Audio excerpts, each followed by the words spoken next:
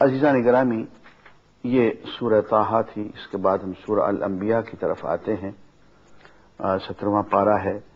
फरमाते हैं इख्तरा बलिन्ना से हिसाब हम बहुम फ़ी गफलत मौरद लोगों के हिसाब का वक्त करीब आन पहुँचा है, और वो गफलत में पड़े हुए, दूसरी तरफ़ मुँह किए हुए हैं, एराज किए हुए हैं। उनके दिल गाफिल हैं। और उसके बाद फिर फरमाया कि लोगों की यह गलत फहमी दूर कर दी जाए।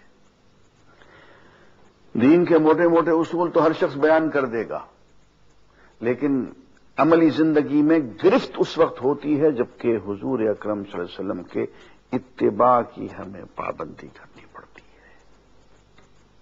इसलिए फरमाया कि लोग कहते हैं कि बशर रसूल नहीं हो सकता।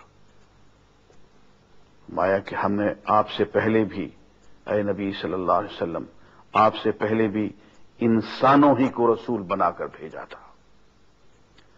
याद रहे ये सूर अंबिया है और ये सूर अंबिया की आयत नंबर गालिबन चार है। ए मोहम्मद सल्लल्लाहु हमने आपसे पहले भी इंसानों ही को रसूल बनाकर भेजा था। इन रसूलों का ऐसा जिस्म न था कि वो खाना न खाते हों और अबदी ज़िंदगी के मालिक हों। एतराज़ हुआ तो क्या हुआ? मा लिहाजा रसूल, याकुल ताम व यमशी फिल असवाक।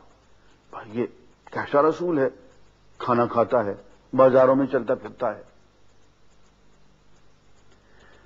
उनका तस्वुर यह है कि अल्लाह का रसूल ऐसा होना चाहिए जो कि मा फोकुल फितरत हो, मा फोकुल बशरियत हो। अगर वो ऐसा है तो फिर उनके इतबा का क्या मतलब है? फिर उनका तो इतबा नहीं किया जा सकता। आगे, एक गलत फहमी यह कि ज़िंदगी एक खेल है, एक तमाशा है। नौजुबिल्ला नौजुबिल्ला जैसा कि अल्लाह ताला ने खिलंड्रेपन से एक खेल बना दिया हो। या नहीं। ये तो बहुत संजीदा मंसूबा है। ज़िंदगी तो एक अजीम मकसद की खातिर हमें दी गई है। ज़िंदगी क्या? ज़िंदगी तो जुज है एक बहुत बड़े कुल का जिसे हम कायनात कहते हैं। फरमाया कि जो उल अलबाब हैं, अक्ल वाले हैं, वो अल्लाह का ज़िक्र सुबह शाम उठते बैठते, सोते जागते करते हैं और फिर कहते हैं, रब्बाना। वो ये तफक करूँ नफी खलकमावात वलर आसमानों और ज़मीन की तखलीक पे गौर करते हैं तो इस नतीजे पे पहुँचते हैं, रब्बाना मा खलकता हाजा बातिला। हमारे परवरदिगार, तूने ये बेकार, बेमकसद नहीं बनाया है ये कारखाना कुदरत। फकीना अजाब हमें दोजख के अजाब से बचा। कहीं ऐसा ना हो कि हम इसे बेकार समझ बैठें और बेकार की ज़िंदगी गुजार के दो जख का ईंधन बन जाए।